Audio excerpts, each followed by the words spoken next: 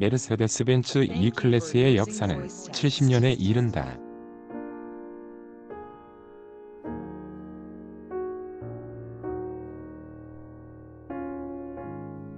2차 세계대전 후 1947년부터 본격 생산된 170V가 최초 모델이다.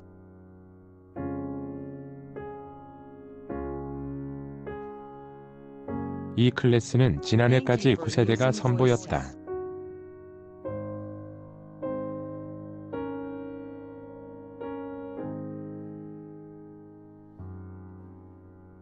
이 클래스라는 명칭이 붙은 것은 1993년이다. 한국은 이 클래스의 세계 세 번째 소비국이다.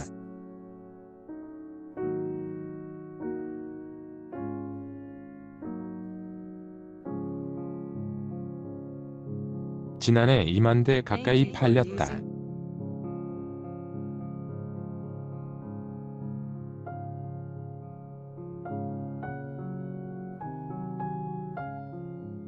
벤츠는 한국 시장의 중요성을 인식해 올 초 시카고 모터쇼에서 10세대 E클래스를 공개한 뒤 이달 초 한국 기자들을 포르투갈 리스본으로 초청해 E클래스 설명회 및 시승 행사를 에스토릴 서킷에서 만난 신형 E클래스의 첫인상은 9세대와 비교해 더 중후하고 더 다이내믹해졌다.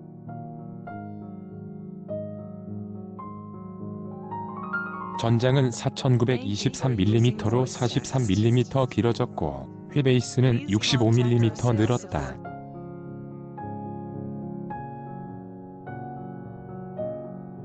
반면 너비는 2mm, 높이는 3mm 줄었다.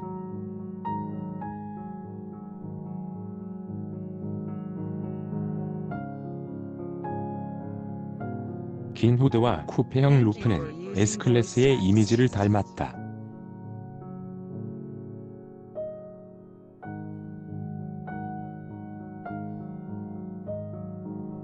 E클래스 중 350D, 350e 하이브리드, 400 4매틱 등 다양한 모델을 고속도로, 해안도로, 비포장도로, 서킷 등에서 골고루 타봤다.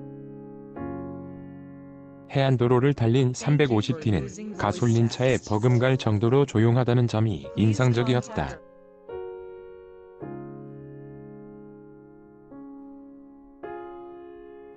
물론 새 차를 탔기 때문이기도 하겠지만 디젤 엔진 소음을 잡아주는 벤츠의 기술력을 느낄 수 있었다.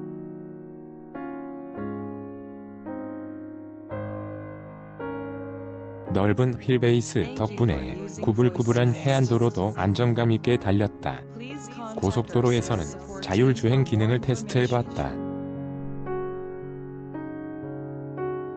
우선 스티어링을 왼쪽 뒷부분에 있는 발을 두 번 당겼다.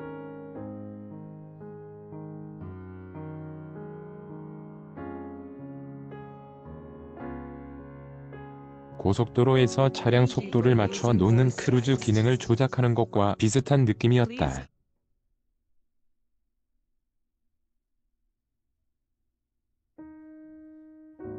앞에 차가 없으면 고속도로 제한 속도까지 높이고 차가 많으면 앞차와의 간격을 고려해 자동으로 속도를 늦춘다는 점에서 크루즈와는 달랐다. 가능케 하는 것은 다목적 스테레오 카메라와 센서다. 차선을 바꾸고자 한다면 방향지시 등 깜빡이만 넣으면 됐다. 로 넣으면 저절로 왼쪽으로 가고 오른쪽으로 넣으면 오른쪽의 통증을 느끼는 등 운전을 하지 못할 상황이 되면 서서히 멈추는 기능도 갖췄다.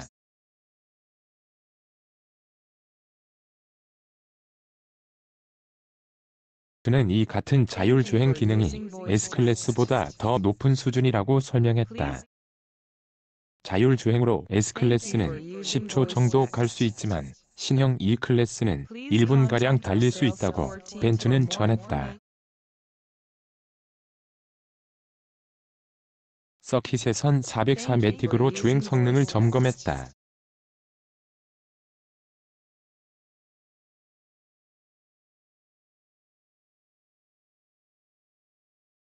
4.2km의 서킷은 급격한 코너, S자 코스, 직선 구간 등이 골고루 섞여 있었다.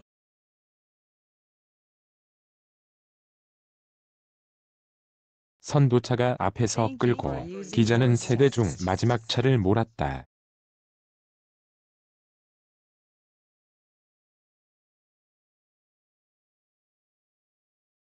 전문 드라이버가 아닌 만큼 코너에서 브레이크를 밟았지만 시속 100km 안팎에서 통과가 가능했다.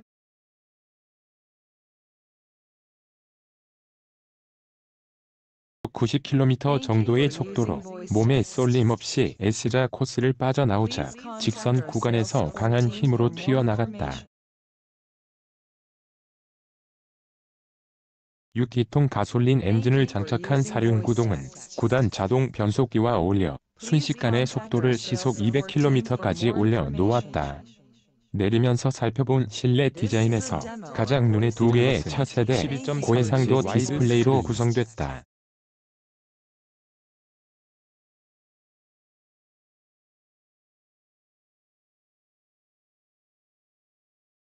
계기판, 다른 하나는 중앙정보 디스플레이 역할을 한다. LG 디스플레이가 공급한다고 했다. 자동 주차 기능도 인상적이었다.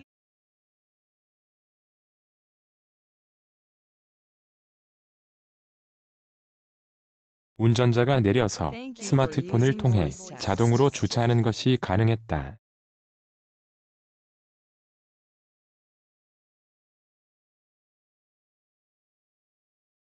한국이나 유럽처럼 주차장이 좁아 주차 후 운전자가 내리기 쉽지 않은 곳에선 유용한 기능이다.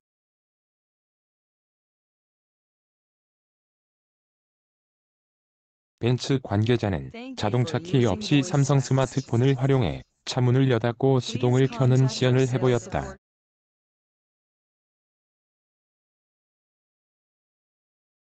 토마스 베서 벤츠 본사 연구개발 R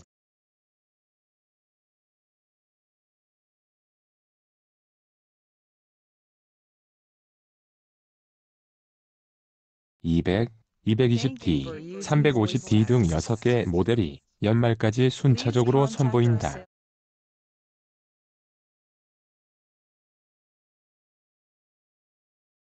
가격은 기존 E클래스보다 높아질 것이라는 게 벤츠의 설명이다.